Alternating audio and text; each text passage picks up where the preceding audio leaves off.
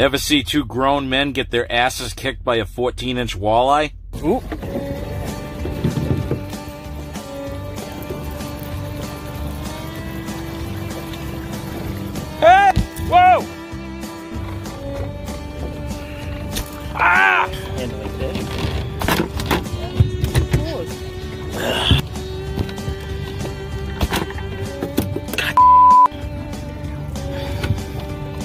That's a hard.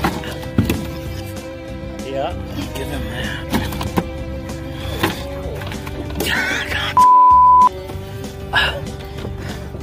What a bunch of jokers. can't even. I can't handle this. Nope. God, just a quarter inch. Ow. I think we might have kabonked him.